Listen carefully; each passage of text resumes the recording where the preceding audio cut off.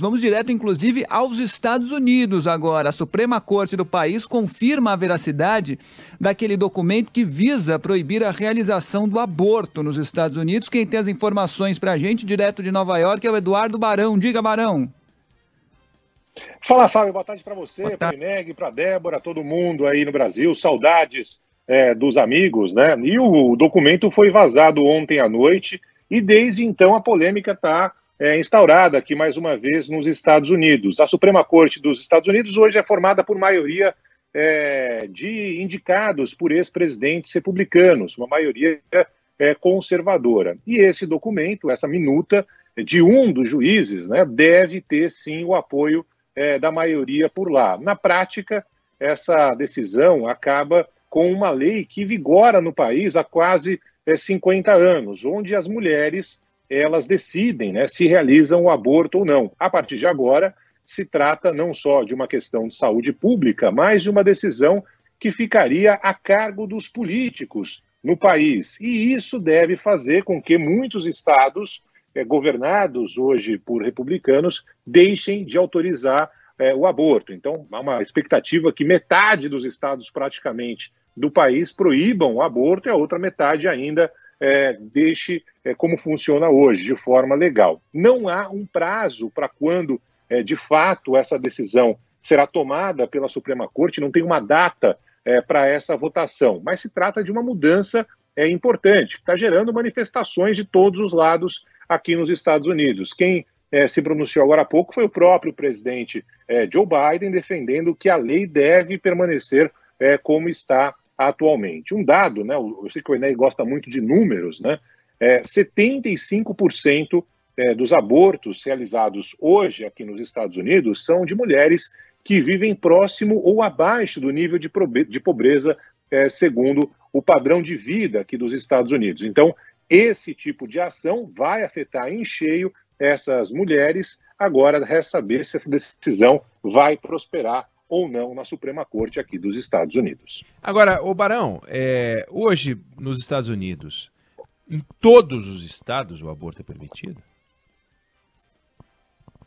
Hoje é, Ineg, mas sabe que isso tem diminuído, né? E tem uhum. sido feita uma mudança, por exemplo, muito grande é, da forma como uma investigação é feita. Por exemplo, uma mulher que realiza um aborto, o feto ele é investigado para saber, por exemplo, se essa é, mulher estava usando ou não drogas. Né? Isso uhum. faz com que muitas mulheres é, que tinham essa ideia mudem de ideia, porque lá na frente elas podem ser até punidas por isso. Ou seja, em alguns estados está havendo um cerceamento é, dessa lei, dessa decisão. Então você imagina que logo de cara, Arkansas, Idaho, Kentucky, Louisiana, Mississippi, Missouri, Dakota do Norte, Oklahoma, Dakota do Sul, Tennessee, Texas, Utah e Wyoming, ou seja, são três estados que imediatamente já tornariam o aborto é, ilegal, caso de fato a Suprema Corte decida derrubar essa lei.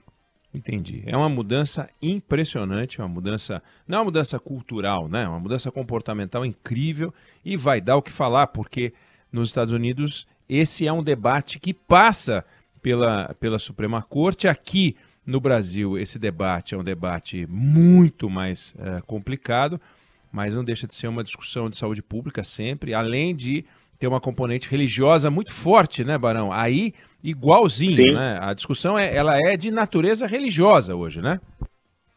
Exatamente, é uma questão de natureza é, religiosa, é uma questão de natureza é, ideológica, né, e não uma questão é, de saúde. Lembrando que lá atrás, né, na década de 70, quando essa lei acabou é, sendo promulgada, né, se tratava de uma mulher que sofreu é, um abuso, ela foi abusada, foi estuprada, é, e desde então essa lei está valendo no país. Agora há essa mudança. E esse é outro debate, né, Neg? Porque nesse momento a Suprema Corte tem maioria é, indicada por ex-presidentes do Partido Republicano, ou seja, maioria é, conservadora. Aí se discute, puxa vida, se fosse o contrário, né? Se fosse uma maioria formada por indicados do Partido Democrata, a decisão seria a mesma, ou seja, é a justiça que está sendo vista ou a opinião de cada um que está ali é, naquele momento. Lembrando que a Constituição é, americana não é alterada como se altera a Constituição do Brasil, Sim. mesmo com quem tiver em maioria naquele momento ou comandando é, o país. Então, é um assunto que está gerando muita polêmica por aqui. Manifestações já começaram a ser feitas é, em Washington, especialmente em, em frente à Suprema Corte.